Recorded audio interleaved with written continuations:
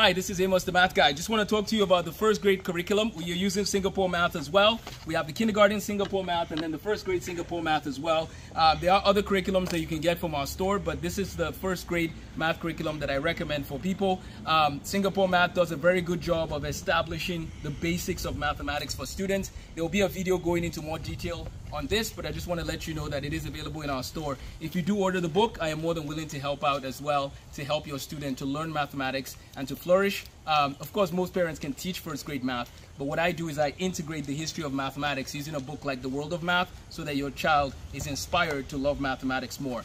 Let us know if you have any questions. Take care and have a blessed day.